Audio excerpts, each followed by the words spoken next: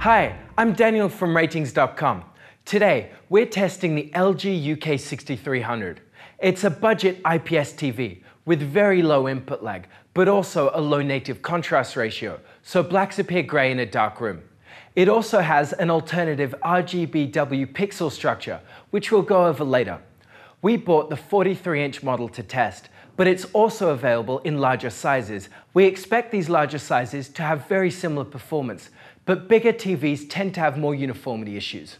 First, we'll look at the design of the TV, and then we'll move on to the picture quality.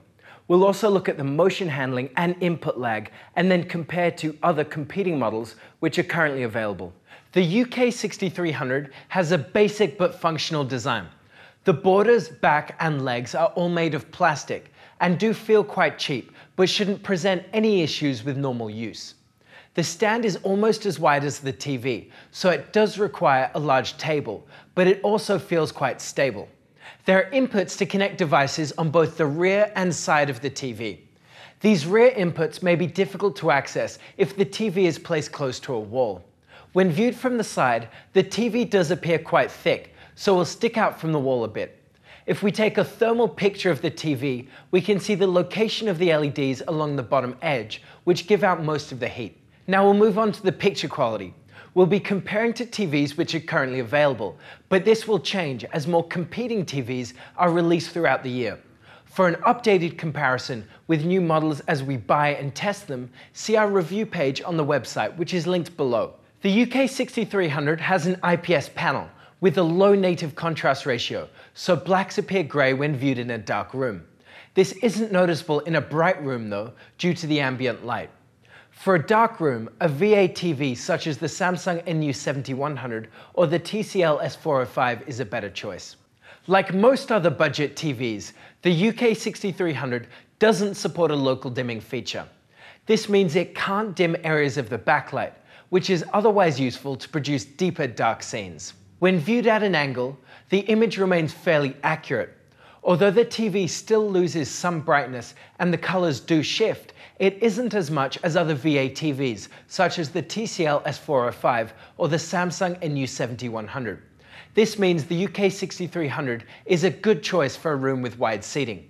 Like other budget TVs, the UK 6300 has a semi-gloss finish. This helps to diffuse reflections and reduce their intensity, but also smears them across the screen. The UK 6300 has a mediocre peak brightness. It is especially limited in the accurate expert picture mode at about 220 nits. For an average room this is fine, but in a bright room the TV may not be bright enough to overcome glare. If you don't care about image accuracy, then it's possible to use one of the brighter picture modes such as standard or vivid. In HDR, the peak brightness is also limited and the TV can't produce bright highlights to make HDR content stand out. For better HDR peak brightness performance, the TCL 6 series is a better choice. The grey uniformity of the UK 6300 is decent.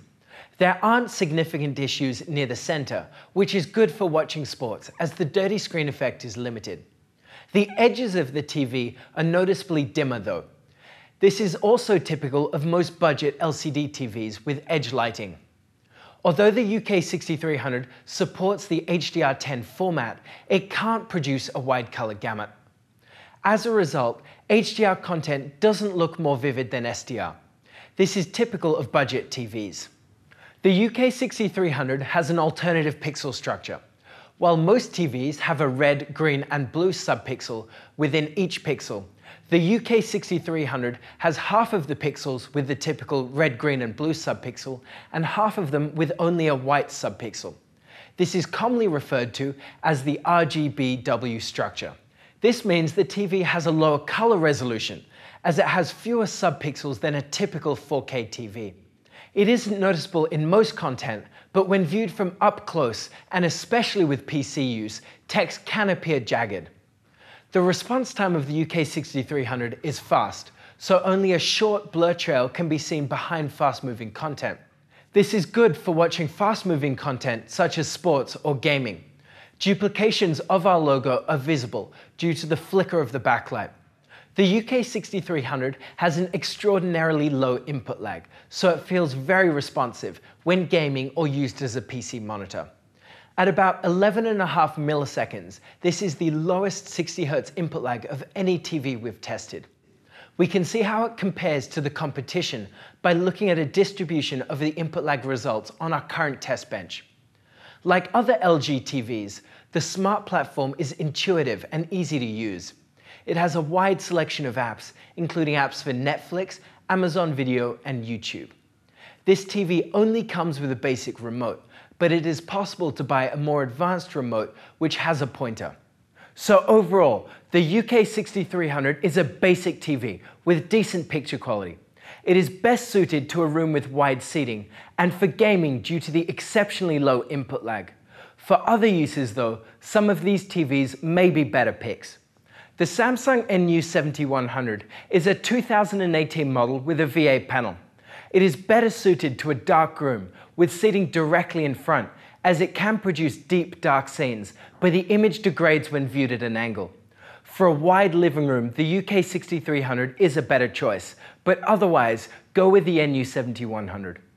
Like the Samsung, the TCL S405 is another budget model, which is better suited to a dark room with seating directly in front. It can produce deep and uniform dark scenes, but the image loses accuracy when viewed at an angle.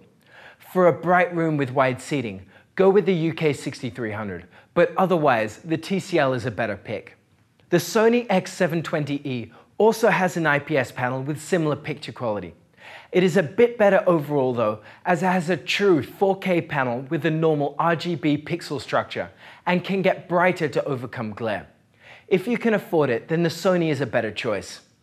The TCL 6 series offers excellent value for money for those who are on a budget but still want to benefit from HDR. It is also great for gamers due to the low input lag and fast response time. Like these other VA TVs, the image loses accuracy when viewed at an angle, so it isn't the best pick for those with wide seating. So that's it. You can check out all of the measurements on our website. And if you like this video, subscribe to our channel or become a contributor. Thank you for watching and see you next time.